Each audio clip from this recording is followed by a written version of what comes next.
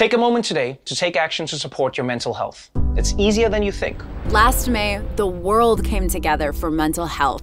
Everyone who is struggling with their mental health, you're not alone. There's no shame in seeking help. To shift culture from awareness to action. Today is Mental Health Action Day. We all have mental health. What will you do to support yours? I'll go first.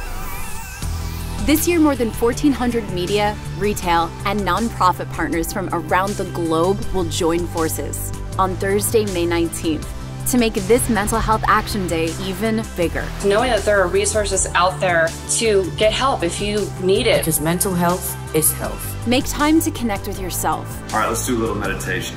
With loved ones. I am beautiful. I'm beautiful. I am smart. I'm smart. And with your community. Sometimes it's just about reaching out to a friend. What you have to understand is you're not alone, and you don't need to be alone.